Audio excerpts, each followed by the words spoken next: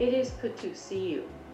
I think you are wonderful. Everybody, welcome back. Well, I know y'all looking for that traditional introduction. Welcome to PTG TV. This is your host, Antonio Hicks. So today I want to talk about something a little, because I thought something, something cool just came out. But I want to dive into the fascinating world of like a biohacking. And I don't know if y'all really know anything about that. I think it's very interesting. It's almost like that whole cyborg thing that uh, we can do, that we're working towards doing because I'm really I'm really all for cybernetics and stuff.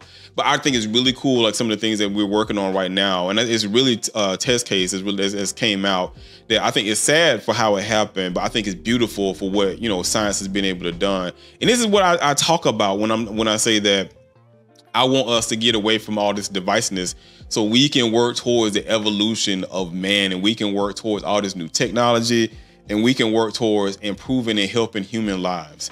So, what exactly is biohacking? It's basically using science and technology to understand and improve your own biology. So we're talking about like sleep cycles, diet, exercise, even wearable tech, you know, like the Apple Ring. Well, not Apple Rings, that's what I'm going to speak on too, but uh, the Samsung Rings getting ready to come out, or the Oura Ring, or, you know, like your Apple Watch, or Samsung Watch, things like that, that nature when you talk about wearable tech. So anything that you can use to optimize your body and your mind. Now, the question that you should ask yourself is, which I'm all for. I'm, I'm, I'm old school. I don't know if y'all remember Johnny Mnemonic, where they had the implants in his brain. Why would you want to biohack anything about yourself? And I would say the benefits behind it are pretty, pretty uh, uh, are, are pretty cool. So you know, Elon Musk is already working towards. Well, he's already have using the, the human test trial studies to put like computers and stuff into your brain. And I think for me, that would help out a lot when it comes towards patients that have suffered from strokes or people that's battling ALS, or if you know you just want to enhance your regular old memory, like I wouldn't mind having you know storage bank into my brain. Yeah, stuff can get corrupt, but I mean, I mean, yeah, it's, it's, it's you know I still wouldn't mind doing it now. It ain't gonna. Be, I don't like the way it's looking right now, but I would like the way you know towards the future because it was the same thing in the Matrix. But you know, here's a story, a true story now, of a woman who suffered a major stroke, and she was able to use a brain implant powered by AI to help give her her voice back. Today is an opportunity for Anne and Bill to have a conversation through our brain decoding to facilitate what we think would resemble a future use of an actual real life application of the technology. The device is an electrocorticography grid, which is attached to a pedestal, which is screwed onto the participant's skull. Hey Anne, how's it going? It is good to see you. I think you are wonderful. Now, what's really sad about that is, is that she has two kids. Like she just suffered this just just stroke out of nowhere. This rare condition is out of nowhere and now she's not even able to communicate with her husband. But what's that's the sad part about it. But what's beautiful about this new technology is that now she's able to communicate, especially using the avatar too, to her husband. So her husband can ask her questions, and she's not able to respond back just using her mind. And I think that in itself is just amazing. I mean, would y'all be willing to get a loved one signed up to do something of that nature, or you know, something happened to them, and now they and they couldn't communicate with you, and now they can't communicate with you again? I mean, I would. I mean, if it was me, I would ask them to do it for me. I would try anything at that point in time to be able to communicate like I used to. And I think because I'm like, that is just that's why we have technology. And that's why I'm all for the advancement of technology, even when it comes to AI. I am not one of those fear mongers that's going to sit here and say AI is taking over the world. But I mean, I think it's going to, it's, it's, of course, it's to eliminate some jobs. And I'm, I, you know, eventually my job is going to get taken away too. But um, I think and I still think it's good for certain things, and that's not what we're here to talk about. We're talking about biohacking, and some of the other benefits behind that is like it's helping towards sharpening your focus.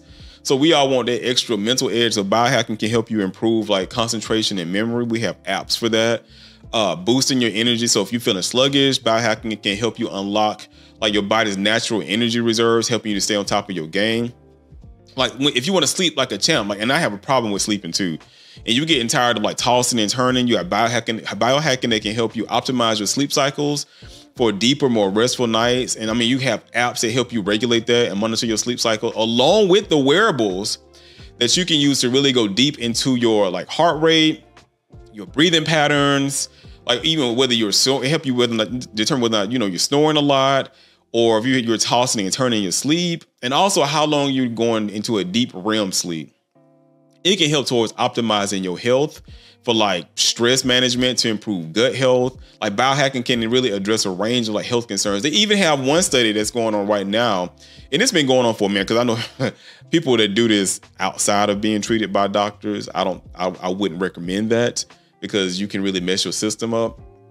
But they have this thing called fecal mi- microbiota transportation, so FMT. And it's a procedure that involves transferring healthy bacteria from a donor's fecal matter to a recipient's colon, which can help with treatment. So you have IBD, inflammatory bowel disease, and IBS, irritable bowel syndromes. I had IBS, irritable bowel syndrome, for a, a while. So I had like I had Crohn's disease, and I'm thank God I'm recovered from it now. So it's um I think biohacking is a good thing. Let me, you know, let me know. Or is this something that y'all would be interested in doing?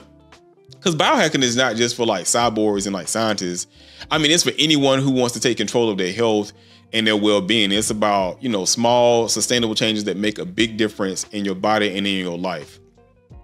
So you ready to, you know, biohack and improve some of your conditions and help out with your memory? Like, would it be something that you'd be interested in doing? Because I think it's um I think it's something that, like I said, I would do. Even when it comes to like if, if you've seen Cyberpunk 2077, like the anime, not just the video game itself, like they replaced out like lungs and stuff, or they helped out improving like people's uh, replacing like ligament muscle tissues to help them out with uh, endurance. And you know, it's it's a lot of things that you can that we're working towards doing now. But the main one that we've seen is they're working towards nanomachines to, but I don't know if that would necessarily be biohacking. It could be, yeah, to help like isolate and, and and knock out diseases inside of people's bodies. Like they have the one procedure that this um sister came up with using is it a, a nano machine? I think it is a nano machine, but it's been already configured to hunt down like cancer cells.